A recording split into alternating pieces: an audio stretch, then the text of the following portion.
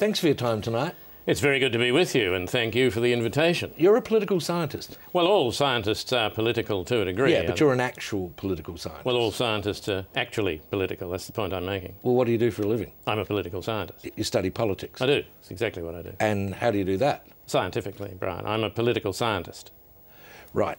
There's a huge amount of discussion at the moment, isn't there, about the state of Australian politics? There is. I think there's a national debate about the quality of uh, politics in this country. And the electorate are not impressed, are they? I think the electorate think that's all a bit of a circus. Which is a bit unfair. Uh, yeah, I think it is a bit unfair, Bryan. Circuses have got some structure. And there are safety nets. There's that round bit in the middle, and the bloke with the whip in the chair doesn't stand himself down very often. Nothing seems to stop at the moment in Canberra, does well, it? Well, this just... is partly to do with you people, partly to do with the media. You're feeding off this, Bryan, and there's a new sensation every day, well, this week you had the leader of the opposition running out of yeah. Parliament in case he got a vote. Uh, well, and didn't he go well? He went like well, a rocket. very quick. I indeed. mean, he is in some form, isn't he? Just before the Olympics. Well, not so much thing. just before the Olympics, Brian. I'm thinking in terms of, well, you know why he left the Parliament in a hurry, don't you? Well, he didn't want to benefit from a tainted vote. No, no, no, no. He didn't want to benefit from a tainted Labor vote.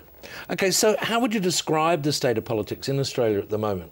Well, just leaving aside a discussion of the media, whose principal effect is to exacerbate all this, what you've essentially got, Bryan, is a government that was duly elected. But it's in office with a coalition of independents. Yes, but they were duly elected. And but led by a leader who tipped out the former leader. Yeah, but she was elected. Yes, twice. Yes, but twice she was elected. My point is, this is all democratic. Yeah, but the opposition have got a problem with that, Well, they? I don't know that they have. I think even they would admit that in broad terms they're also democratic. Yeah, I mean, they want to be the government. Well, they do, but of course they have similarly the problem that they are also in coalition and they also are led by a person who tipped out the previous leader.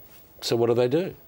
A lot of upper body work, Bryan. They seem to be on the bike a fair bit, some swimming. They keep fit. Over time, though, historically, is, is there patterns of behaviour? There, yes, the pattern, you mean in Australian parliamentary yeah. history? Yes, the pattern is that they swap sides from time to time. So what can we say? Is Australia healthy, the parliament? Is the Australian political system yeah. healthy? That's really a health services question, Bryan. Ring him. Craig Thomson.